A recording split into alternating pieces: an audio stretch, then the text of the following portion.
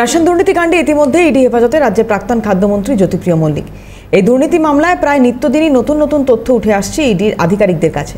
এ নিয়ে মঙ্গলবার ইডির তরফে এক প্রেস বিজ্ঞপ্তি জারি করা হয়েছে। সেখানে উঠে এসেছে নানান চাঞ্চল্যকর তথ্য।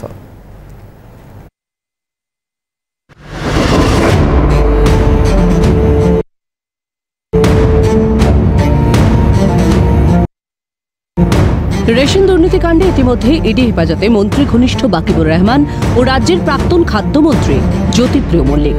এই দুর্নীতি মামলায় প্রায় নিত্যদিনই নতুন নতুন তথ্য উঠে আসছে ইডি আধিকারিকদের কাছে। এবারে ইডির হাতে এলো রেশন দুর্নীতির বিভিন্ন তথ্য। এই নিয়ে মঙ্গলবার ইডির তরফে এক প্রেস বিজ্ঞপ্তি জারি করা হয়েছে। সেখানে উঠে এসেছে, কীভাবে রাইস মিলের মালিকরা কৃষকদের নামে ভুয়ো ব্যাংক অ্যাকাউন্ট বানাতেন ও কীভাবে চাল খোলা বাজারে বিক্রি করে মুনাফা করতেন তারা। এডির প্রেস বিজ্ঞপ্তির তথ্য দেখে চক্ষু চরকা গাছ হওয়ার জোগাড় রাজ্যবাসীর। প্রেস বিজ্ঞপ্তিতে বলা হয়েছে, ভুয়ো ধান সংগ্রহ এবং পিডিএস রেশন খোলা বাজারে পাচারের অভিযোগে সাতাশে অক্টোবর গ্রেপ্তার করা হয়েছে রাজ্যের বন এবং অচিরাচরিত শক্তির উৎস দপ্তরের মন্ত্রীকে।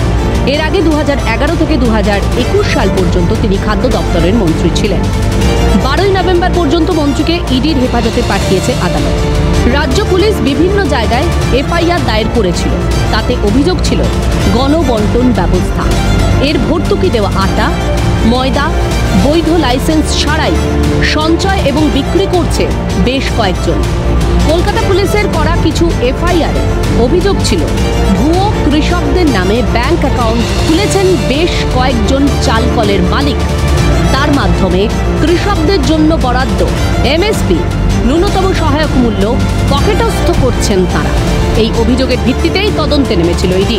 ইডি তদন্তে নেমে জানতে পারে পিডিএস এর অন্তর্গত তিরিশ শতাংশ রেশন খোলা বাজারে বিক্রি করা হয়েছে।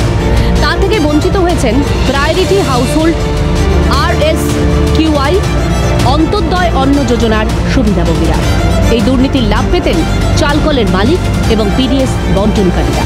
পাশাপাশি কৃষকদের নামে ভুয়ো ব্যাংক অ্যাকাউন্ট খুলে ধান চাষিদের জন্য বরাদ্দ ন্যূনতম সহায়ক মূল্য আত্মসাৎ করতেন। এই কাণ্ডে অন্যতম প্রধান এক সন্দেহভাজন জানিয়েছেন, এক কুইন্টালে দুশো টাকা করে আয় করতেন চাল কলের মালিকেরা, যা আদতে কৃষকদের থেকে পাওয়ার কথা ছিল সরকারি সংস্থাগুলির। এর আগে গত চোদ্দই অক্টোবর ময়দা এবং চালকলের মালিক বাকিবুর রহমানকে গ্রেপ্তার করেছে ইডি। তাকে একই মামলায় আঠাশে অক্টোবর পর্যন্ত ইডি হেফাজতে পাঠিয়েছে আদালত। এই ঘটনায় এগারোই এবং ছাব্বিশে অক্টোবর, চৌঠা নভেম্বর একাধিক জায়গায় তল্লাশি চালিয়েছে ইডি।